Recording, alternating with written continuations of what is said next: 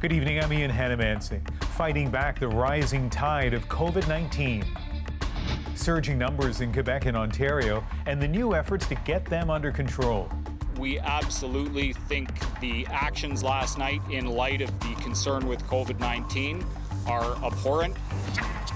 Reaction to the death of a former Prime Minister. Brian Mulroney weighs in on John Turner's contribution to this country and their famous political rivalry.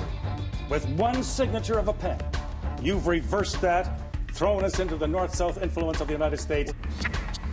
Europe's biggest bank is found handling billions in suspicious money, and thousands of those transactions involve Canadian institutions. Canada is such an easy mark to hide dirty money. This is The National. As summer gives way to fall, Canada struggles with a COVID 19 infection rate not seen since May, prompting fears of a second wave. Canada saw close to 900 new cases today, and we won't know BC and Alberta's numbers until tomorrow.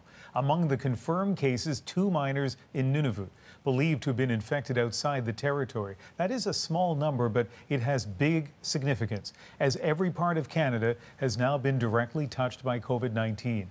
There is no mistaking the trend across Canada these past several weeks, and figures from Canada's two most affected provinces tell the same tale. For months, Quebec was Canada's COVID 19 epicenter, and there are signs it may reclaim that title. With 462 new cases today, that's prompted Quebec to increase its COVID alert to its second highest level. Simon Nakanishi has that tonight. Canada's second largest city shut down. Businesses closed, schools too. This is what Montreal looked like this spring. Now, with cases climbing again, the province is retightening the rules. I don't want to ha- be in a bad situation in Christmas time because we haven't done what we're supposed to do. When Quebec unveiled its new color alert system, most of the province was at green, the lowest level of danger. Now, less than two weeks later, as daily new cases climb, that map has changed color to yellow, and for the first time, orange, including parts of Quebec City and Montreal. Nobody wants to have to go through another major shutdown again. It becomes a question of are we prepared to give up certain things that we enjoy now in order to prevent that from happening? So far, those things haven't been restricted, but they have been scaled back. The number of people allowed at private gatherings indoors is down from 10 to 6. Attendance at public places where alcohol is served, like weddings and picnics, is capped at 25, down from 250. And travel between regions is not recommended. Restaurants and bars will have to stop serving alcohol at 11 o'clock instead of midnight, with a maximum of six clients per table. We're happy we're still open. Uh, like I said, it's it's it's tough news. It's tough news in general for all the population. I wish the people were just taking this more seriously, and we don't have to go to red because who, who knows what it is. The government says the situation is not out of control, and if citizens make an effort, measures could be relaxed again. But if they don't, these restrictions could get a lot worse. Simon Nakanishi, CBC News, Montreal. And Ontario is not far behind Quebec in its escalating number of cases, reporting more than 400 yesterday for the first time in three months. Today was down, but not by much. And as Farrah Merali tells us, officials have no patience for rule breakers. This was Saturday night at a cinema parking lot in Hamilton. Hundreds of cars showed up for what police called a mega meet. Uh, just trying to see some nice cars. There were so many people, officers from three different police services had to be called in. This on the same day the province announced new limits on gatherings. We absolutely think the actions last night, in light of the concern with COVID 19, are abhorrent. The participants should be ashamed of themselves. It's not the only place where people were breaking the rules. The mayor of Mississauga tweeted Saturday bylaw officers there have been busy, handing out tickets at house parties and wedding receptions. We can't have these wild parties right now. It's just way, way too risky. The province's new rules only allow 10 people to gather indoors and 25 outdoors. It believes the rise in new infections stems from large private gatherings. I think we have to be very careful here in terms of what the messaging needs to be. You know, private social gatherings is anything like watching the game together or, you know, two families having a sleepover together. It's not just people partying The new limits don't apply to bars or restaurants or to schools, but there are new cases confirmed there. This Catholic school in Ottawa is now closed for two weeks after two students and two teachers tested positive. It's the first elementary school in Ontario to officially close. I've been here for about two hours now. The surge in new cases has been met with long lineups at testing centres. The province also announced this weekend it's adding more centres, like this converted parking lot at the Canadian Tire Centre, home to the Ottawa Senators. More than two thirds of today's new cases are people under the age of 40, like many who came to this mega meet. With that, it seems the province needs to do more to drive its message home. Farrah Merali, CBC News, Toronto. And British authorities also deeply concerned about the possibility of a second wave overwhelming their country. The nation faces a, a tipping point, and we have a choice. That choice follow the rules or face more restrictions, including a possible second lockdown. This weekend, Britain introduced fines of almost $13,000 for failing to self isolate when required. The country reported almost 4,000 new cases today. All throughout this weekend, Canadians have been remembering former Prime Minister John Turner. As a dashing young politician, he was sometimes called Canada's Kennedy. Turner was Justice Minister in Pierre Trudeau's cabinet when homosexuality was decriminalized and during the October crisis when civil liberties were suspended. As finance minister, he weathered the 1970s oil crisis. A career in public life that peaked when he became prime minister, a job he held briefly and tried twice to get back. Stephanie Mercier looks back at his life and career. Well, here's John Turner uh, into the UBC Sports Hall of Fame. Before he ran for prime minister, John Turner was running for UBC. The noted politician was first a track star of Olympic caliber. Sprinter Douglas Clement met him at the 1952 Olympics in Helsinki. I have no doubts that he would have actually made the team because he was that good an athlete. But life would lead John Turner to a different type of podium. Born in England, he came to Canada as a boy and began practicing law in Montreal in the 1950s. These photos of him dancing with Princess Margaret made international headlines. In 1962, he won a Montreal seat for the Liberals and was seen as a rising star. But after a rivalry with Pierre Trudeau, he shocked the party. I hereby resign my seat in the House of Commons, effective immediately. Turner made a comeback in 1984, winning the Liberal leadership and becoming Prime Minister, a post he held for just two and a half months. His party took a beating in a snap election. He held on as opposition leader and famously battled Brian Mulroney over free trade. Wrong Once again. a country opens itself up to a subsidy war with the United States Wrong on again. terms of definition, then the political ability you. of this country to sustain the influence of the United States. Turner retired from politics in 1993, but friends say he stayed very engaged. He did the country a great service in showing that ideas count, conversation counts, but also good, tough political competition. And I think as a result, we're a much better country for that. On a personal level, he's being remembered for his loyalty. But I remember John as a, a very kind and, and dear friend, uh, someone who was just incredibly loyal. Uh, and uh, to this day, uh, uh, he would make a phone call um, on my birthday. John Turner was 91 years old. Stephanie Mercier, CBC News, Vancouver. Back in 2011, Turner was asked how he would describe his own political legacy, and, and here's what he told Peter Mansbridge. Any legacy, I hope, would be a legacy of example, committed to public life and public service. Love thy neighbor as thyself. And that means in a free society, in a free country, contributing to electoral politics as well as bureaucratic politics.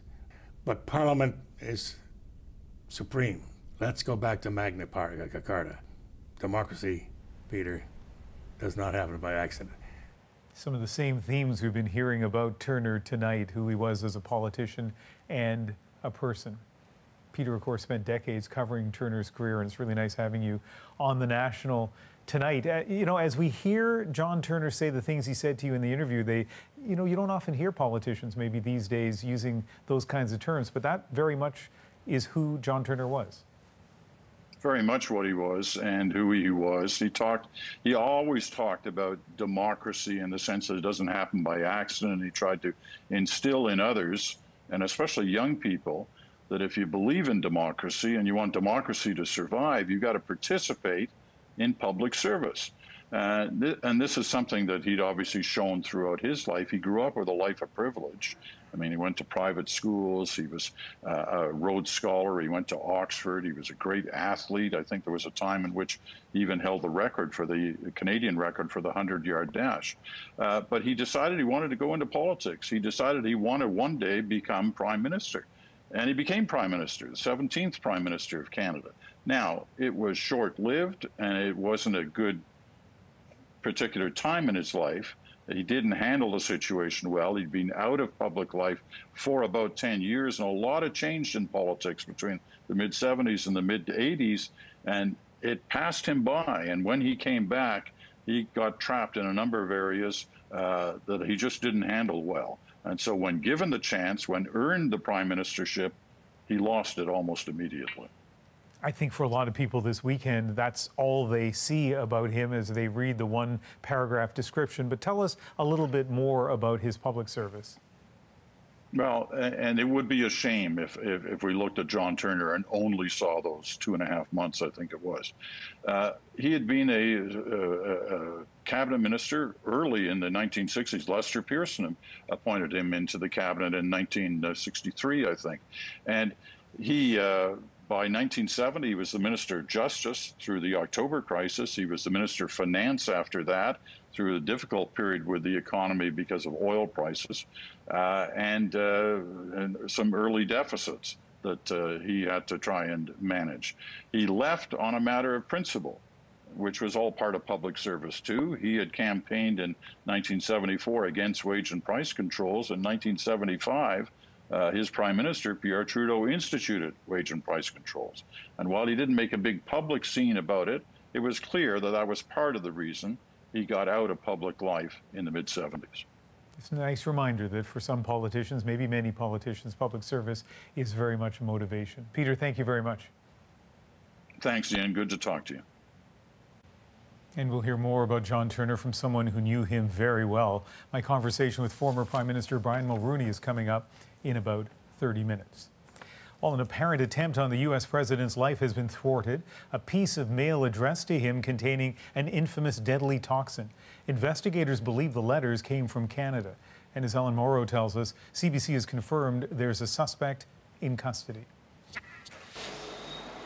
Tonight, there are reports a woman was detained trying to cross from Canada into the U.S. carrying a gun the suspect who allegedly mailed this envelope addressed to the U.S. president, posted with a Canadian stamp marked H4T, suggesting it went through a Montreal area sorting facility.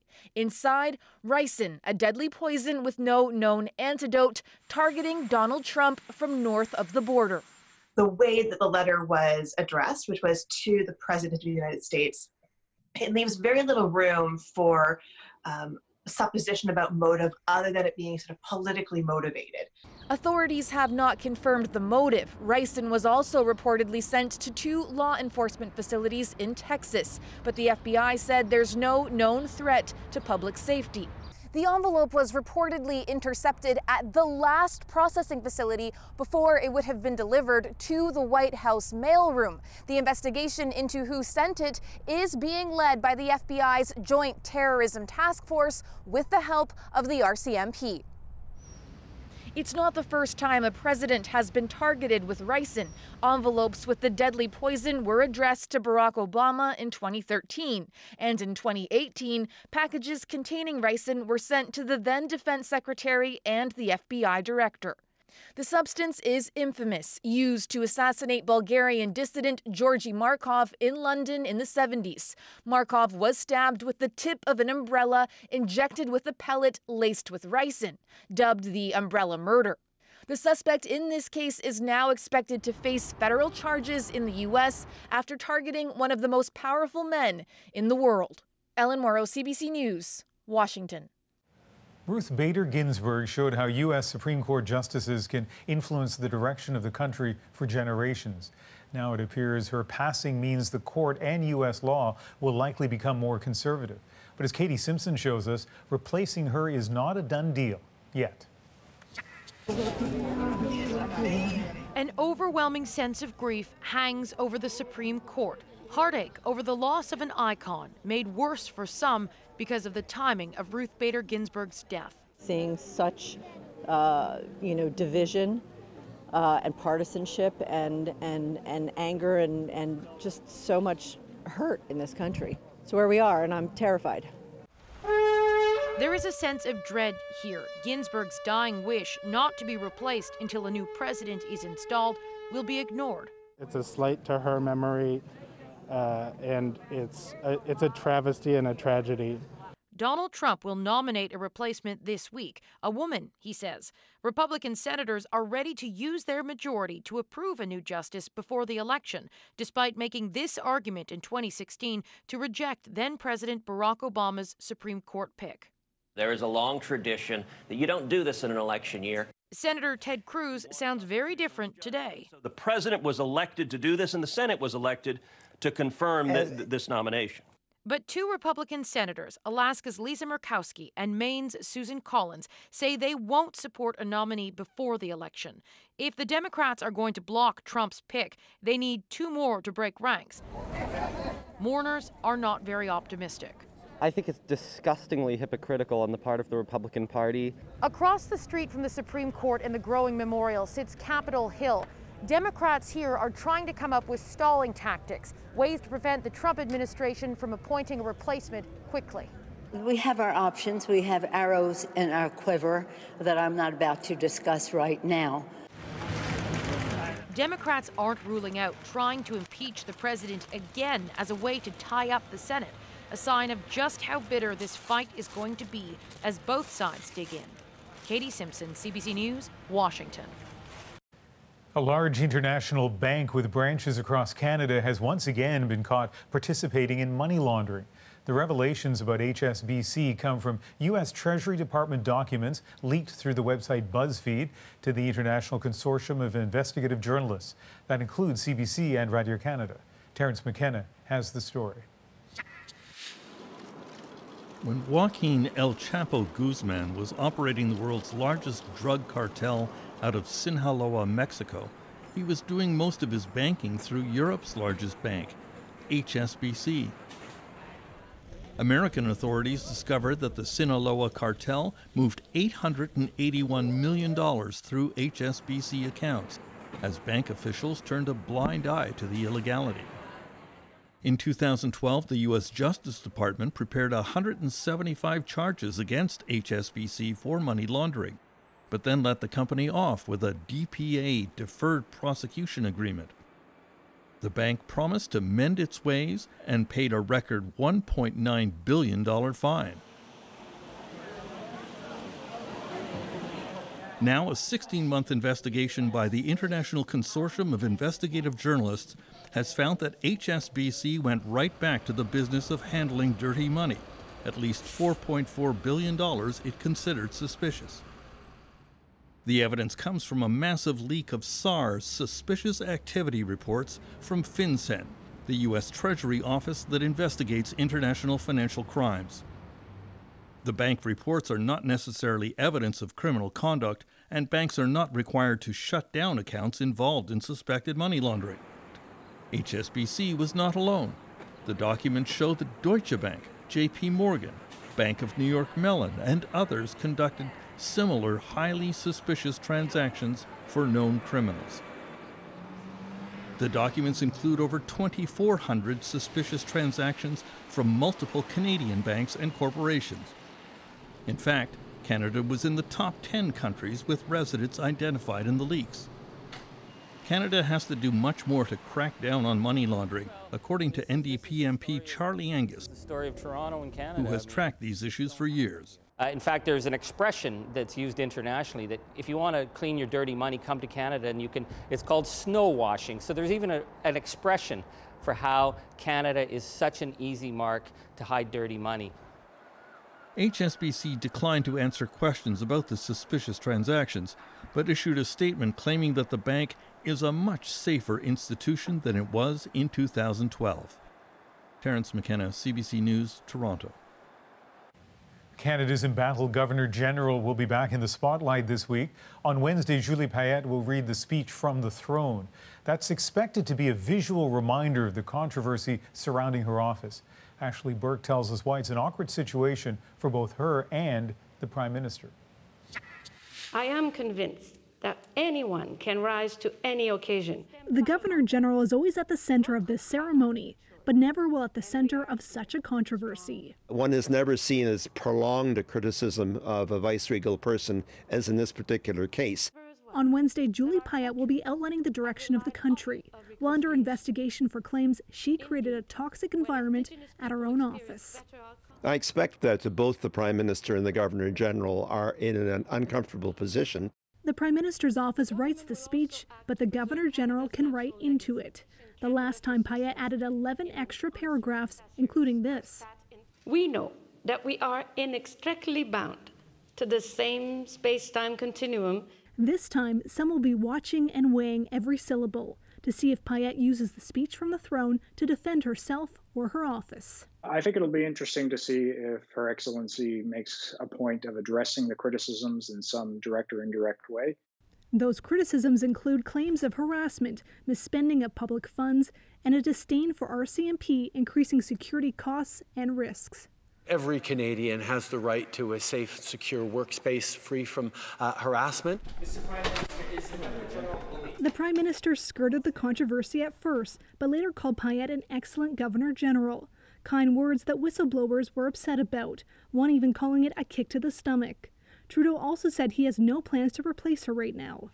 We have engaged a third party reviewer to uh, follow up on these serious allegations, and we will uh, wait for the reviewer to uh, do their work. What I think he was trying to do was temper that statement with the fact that he had just instituted a truly historic, independent third party investigation into the allegations against the Governor General.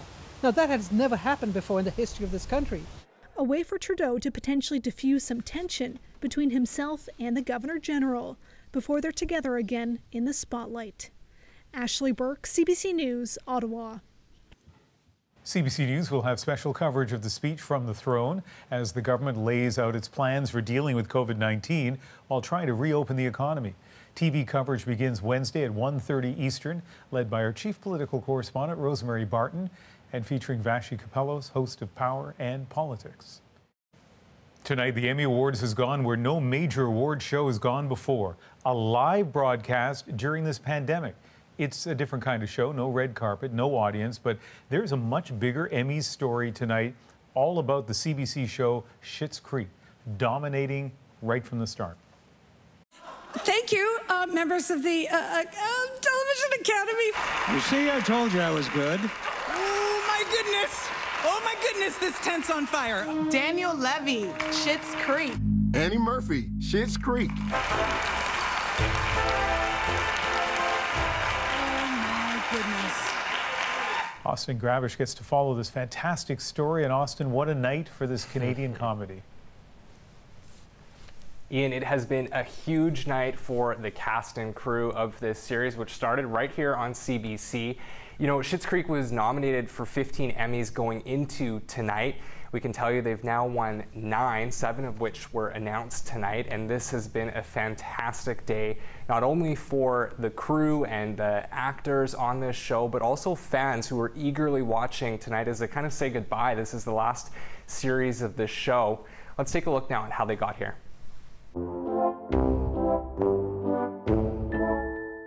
Schitt's Creek has brought laughs, tears, and an escape. I've woken up in a Black Mirror episode. I started watching the show in March when I got sick with COVID, and it made me feel like I wasn't, or I was a little less alone despite everything that's been going on. The CBC commissioned Smash Comedy follows a wealthy family that suddenly finds itself broke and forced to live in Schitt's Creek, a small town the Roses once bought as a joke. The show developed a cult following. Then its popularity exploded internationally when it hit Netflix. What does Schitt's Creek mean to you? I mean, this show's changed my life. Um, I've met people all over the world and even flown to the States twice because of this show. Where's David? Stop yelling. The six season series already won two awards before tonight, including Outstanding Casting for a Comedy Series and Outstanding Contemporary Costumes for sites like this. Good evening, everyone. Welcome to the marriage of Patrick Brewer and David. The show, considered groundbreaking by many for its representation of queer love. I can sit down with my elderly grandma and watch it, and she's become so much more open minded because of it. The final season is available on CBC Gem and is expected to hit Netflix in October. And this is a record setting night for this show and the Emmys. And all of these awards uh, are, are, are, fantastic news for the crew who've been eagerly watching tonight at a socially distant celebration in Toronto. I just want to go over a, a few of the awards. There's almost too many to list, but Catherine O'Hara won uh, Best Actress, Eugene Levy won Best Actor, his son Dan Levy won an award for directing the best comedy series along with a couple of other awards and he actually gave an acceptance speech a little earlier on this evening in Toronto. Let's take a listen. Getting to write David Rose, getting to write this show, getting to tell the stories has been the greatest, most cathartic experience of my life. Thank you to CBC and POP for broadcasting these stories without hesitation and this night is a big one for the fans you saw in my story. I just got a message from one of them who's over in London, England, near London, England, in fact, tonight watching, and she tells me that she and her friends have tears uh, with tonight's news. You captured the joy of the story so nicely. Austin Grabish in Winnipeg tonight. Friends and political foes alike are fondly remembering Canada's 17th Prime Minister tonight. He gave me that time and that attention. John Turner was a person who could walk down the main street and meet people that he knew by name. Still ahead on the National, more on former Prime Minister John Turner's legacy, including my interview with another former Prime Minister and Turner's political rival. You had an option, sir. You could have said, I am not going to do it. Reflections on this moment and more from Brian Mulroney. And next, we know that testing is a big part of how well we cope with COVID, and you have lots of questions about it. Is it possible for schools to have on site COVID testing? The answer to that and more from our doctors right after this.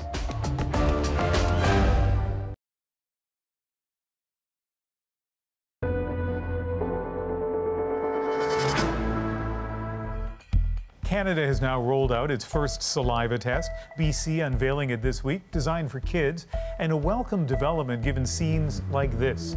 As COVID cases continue to rise across the country, so do the lineups at many testing centers. In some places, people are waiting for hours only to be turned away. A little bit uh, anxious that I need to wait another day to get uh, to get tested. You will get the one in two patients who might not like it, but you have most of the patients cooperating. My daughter had sniffles, so we wanted to get her tested. With the return to school, to work, and the cold and wet weather coming, both the demand and anxiety around testing is growing. This week, Ottawa announced billions in funding to cut wait times and triple the daily national testing capacity. But how will it work? And is it enough? So there are lots of questions, and for some answers, we're joined now by Dr. Srinivas Murthy, an infectious disease specialist and investigator at BC Children's Hospital here in Vancouver, and Dr. Danielle Martin, a family doctor and chief medical executive at Women's College Hospital in Toronto. And Dr. Martin, let's start with you. It may seem obvious, but is the surge in testing matching the, the surge we're seeing in the number of cases? It's a great question, actually. So, uh, although we are seeing an increase in testing, the increase in positive cases is outpacing that increase. So, the rate of, of uh, positive numbers is increasing as well. So, we're not just seeing artifact. The sense that people are getting out there, that we may be potentially heading into a second wave, and that if we don't act swiftly, especially in some parts of the country, to try to slow the transmission of the virus, um, that we could head into a, a, significant second wave is real, um, and we and we need to be concerned about it. And Dr. Murthy, given what is happening across the country, who should be getting tested?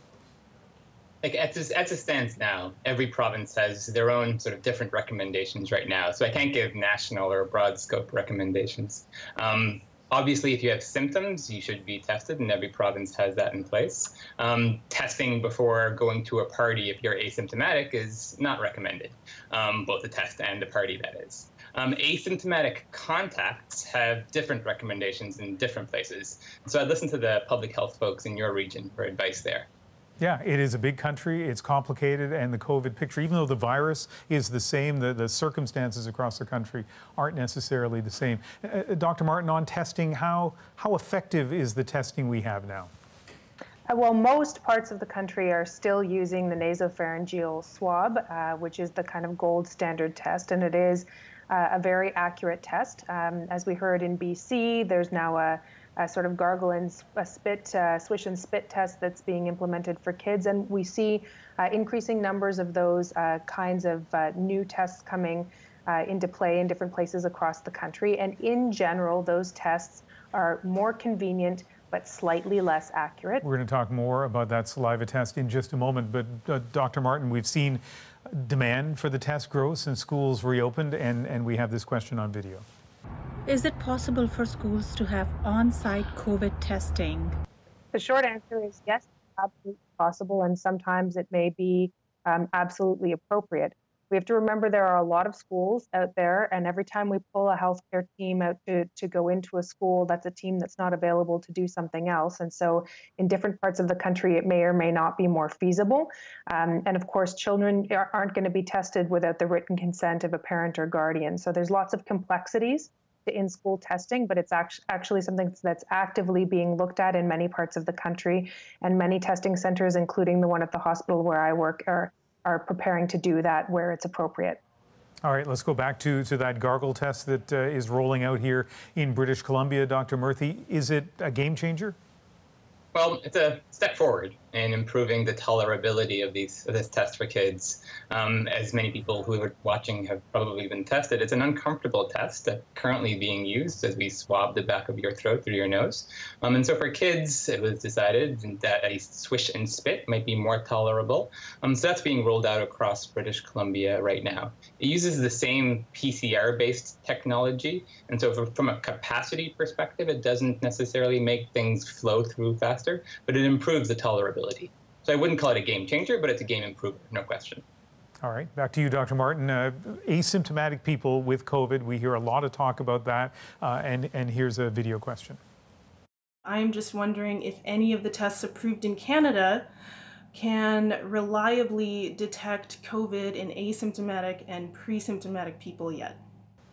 So the short answer is all tests are more accurate if the person has symptoms. And it's not because they have symptoms, it's because of how much virus you're shedding. And so um, uh, testing a person who has not yet developed symptoms, uh, but is going to develop symptoms three days from now, if they're not shedding any virus, then there's nothing for that test to pick up.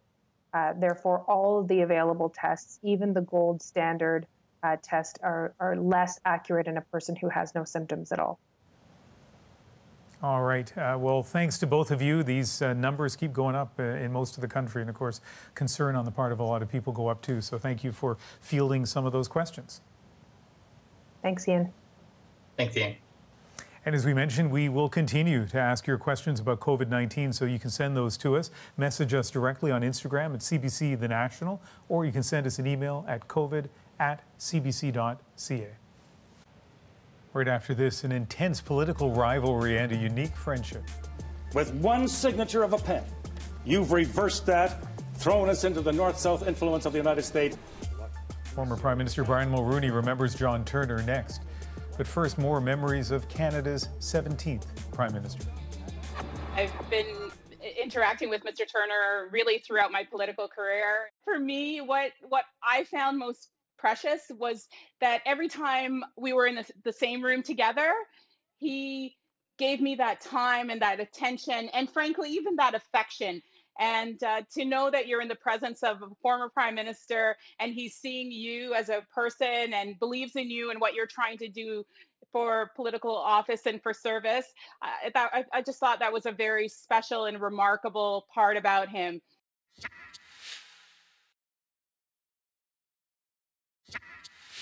That I had no option. Well, Truman, your next you, question, you had an option, sir. You could have said, I am not going to do it. This remains one of the most memorable exchanges in Canadian politics. Brian Mulroney challenging John Turner over Liberal patronage appointments during the 1984 election debate. The people of Canada, from coast to coast, have spoken. Widely considered to have cost Turner the election and ending his time as Prime Minister 79 days after he replaced Pierre Trudeau. Turner went on to face Mulroney again four years later. This time, free trade with the United States dominated the election and led to yet another iconic moment between the pair.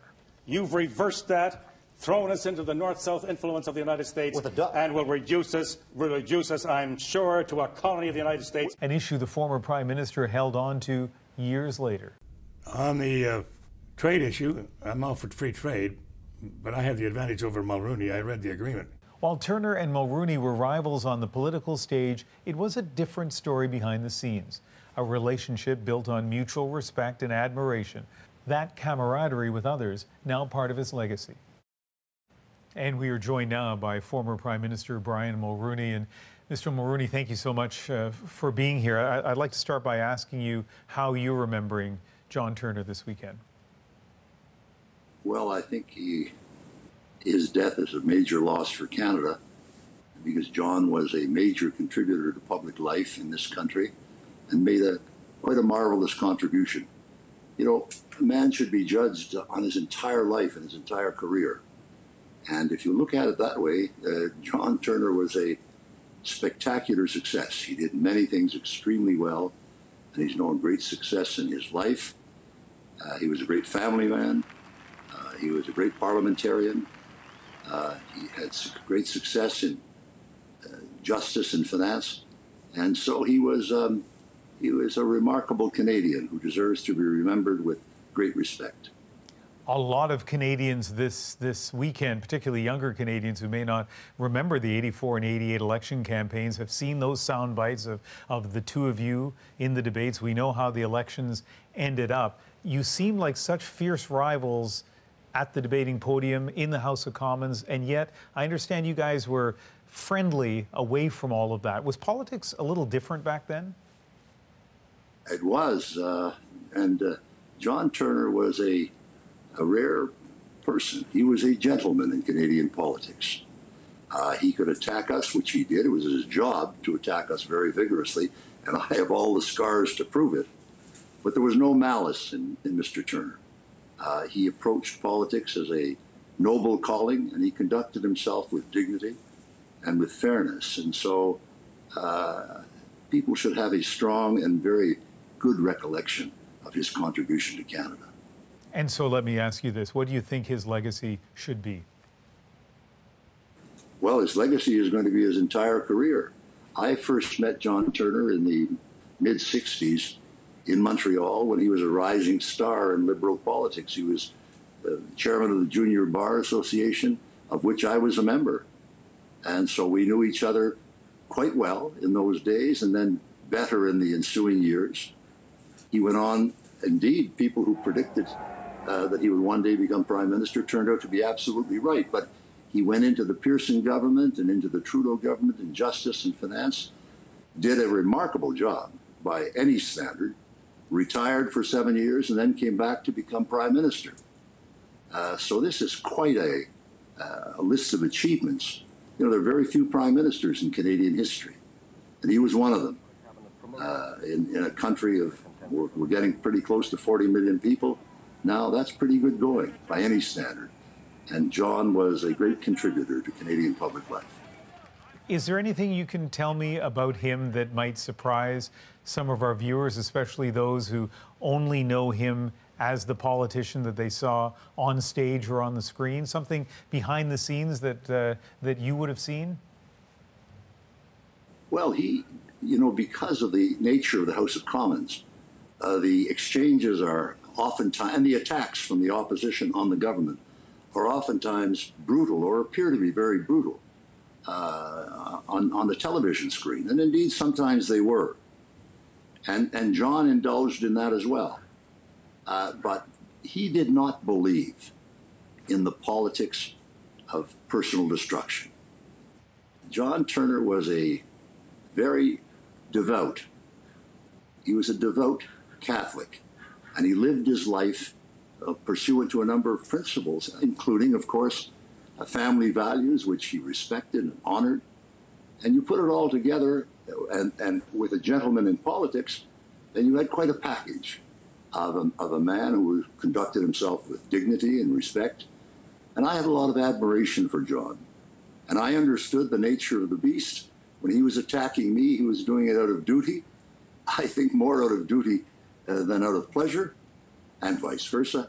And so we maintained a very friendly and cordial relationship pretty well all of our lives. That's a, that takes in a fair amount of time. Well, Mr. Mulroney, we really appreciate your time, and it's very nice to have you on the program. Thank you. Thank you, Ian. And as we go to break, one more reflection on former Prime Minister John Turner. I spent uh, many hours with him over the years, and uh, he was a person who was generous. Uh, I would say that one of the great qualities of John Turner was he had what I would term a talent for friendship. He had the famous Rolodex with hundreds of names, and he called those people on the Rolodex on their birthday every year. Uh, he is someone that John Diefenbaker, the former prime minister, once said publicly. Uh, he was a person, John Turner was a person who could walk down the main street of most cities and towns in Canada and meet people that he knew by name. And that is a very rare quality in today's world.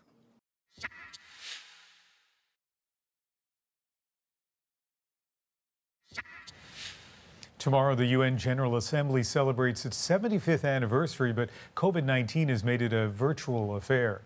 Steven D'Souza explains there are fears that doing diplomacy over Zoom means a lot will get lost in translation. It's often called diplomatic speed dating. The UN General Assembly is a showy affair with lofty speeches and power lunches. But this year, leaders are staying home their speeches pre recorded, the global pandemic and onerous travel restrictions making gatherings like this unrealistic.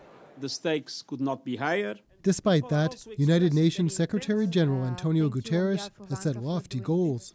I will make a strong appeal to the international community to mobilize all efforts for the global ceasefire to become a reality by the end of the year. Guterres admits rallying the world to tackle COVID 19 in this format won't be easy.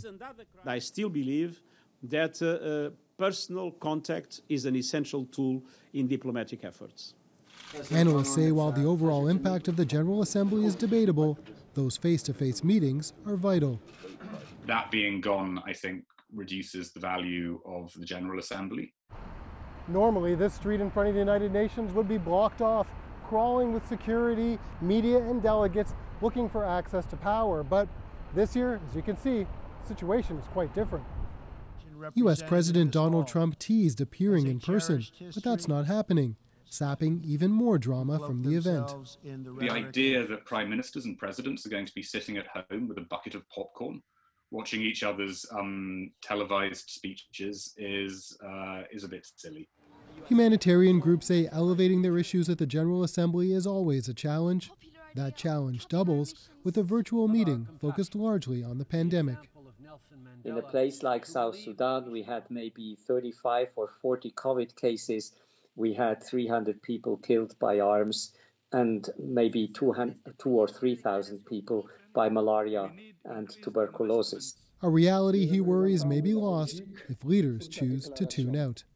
Steven D'Souza, CBC News, New York. Next on The National, finding new ways to celebrate. I can tell you one thing, they never taught us in seminary how to do services in a drive-in. The drive-in Rosh Hashanah, next.